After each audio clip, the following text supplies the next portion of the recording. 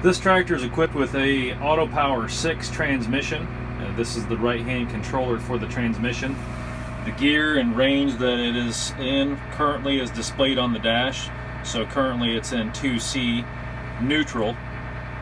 So if we move the left hand controller to forward, we'll move forward in 2C.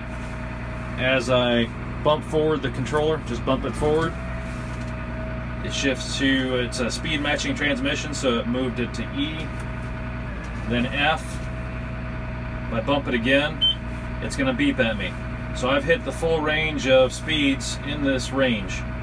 In order to shift to the next range, I depress this button on the side of the T-handle, hold it down, and bump it forward. That takes me to 3C. I bump it again to 3E, and then so on and so forth.